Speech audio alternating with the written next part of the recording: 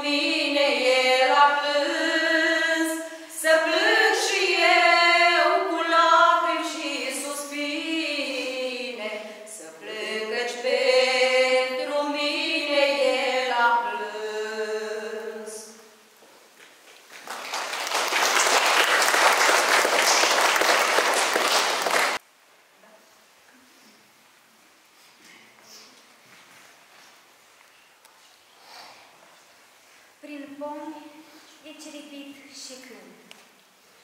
Văzduhul plin de un roșu soare și sarcile în altă floare. E pace în cer și pe pământ. Răsuflu cald al primăverii adus al zilele învierii și cât e de frumos în sat. Creștinii vin, tăcuți din vale, și doi de se întâlnesc în cale, își zic, Hristos a înviat. Și râde atâta sărbătoare din chipul lor celas pe soare. Și un vânt adea clătinitor șoptește din văzduh cuvinte. E glasul celor din morminte. E zgomotul zbordării lor. Și pomii frunțile-și coboară, că Duhul Sfânt prin aer zboară. E liniște. Și din altar, cântarea în stihuri repetate, departe până în văi străbate și clopotele cântă rar. Ah, Doamne, să le auzi din vale, cum râd a drag și plâng a jale.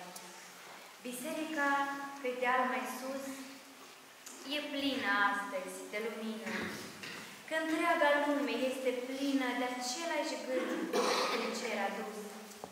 În fapta noastră e soartă și viața este tot, nu moartea. Pe deal se suie încetișor neveste tinere și fete, bătrâni cu iarna vieții în plete. Și încet, în urma tuturor, vezi șovăind câte o bătrână cu micul ei nepot de mână. A, iar în, iar în minte mi-ai venit, tu, mama micilor copile. Eu știu că și în aceste zile tu plângi al tău copil dorit. La zâmbet, cerul la cheamă. Sunt Paștele, nu plânge, mamă.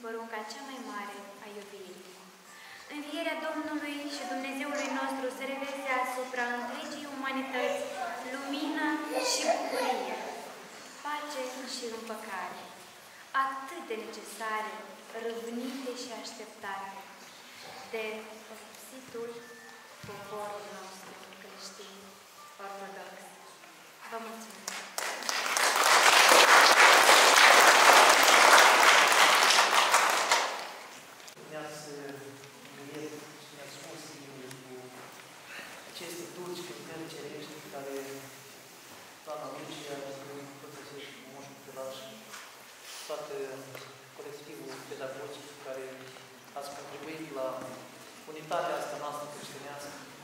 Și Bunul Dumnezeu să vă aibă în dragostea, în brațele și pe pașii voștri și tălpile voastre care aici le-ați lăsat ca un peceat, vă rămânează, știți, întotdeauna și cândva îngerașii voștri o să vă arăte, iată, aici a stat, în acest sfânt locaș unde se închină oamenii lui Dumnezeu. Doamne, ajută mai departe la realizări frumoase, la activități împreună și colaborări frumoase împreună. Și Bunul Dumnezeu să răsplătească cu bogatele sale dar Amin.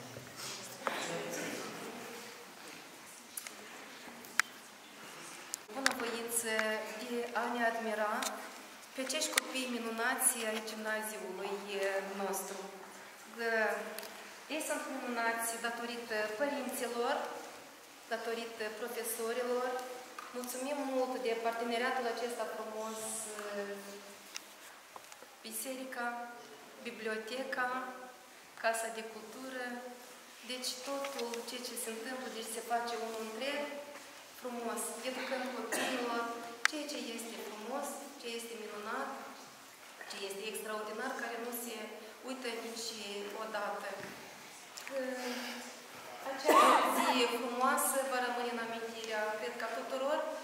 Este o experiență, a venit așa din start, vreau să zic din inițiativa doamnei Lucia, profesoară extraordinară, de educație muzicală, unde le-a promis copiilor că vom ieși.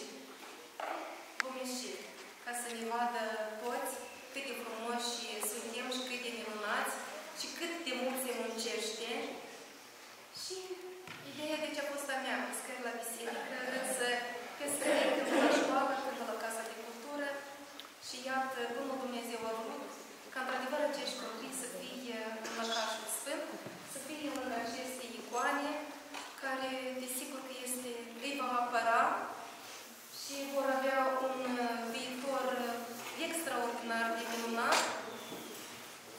Și sper că nu va fi ultima. Deci este începutul. Este începutul. La anul viitor venim cu un repertoriu mai vast.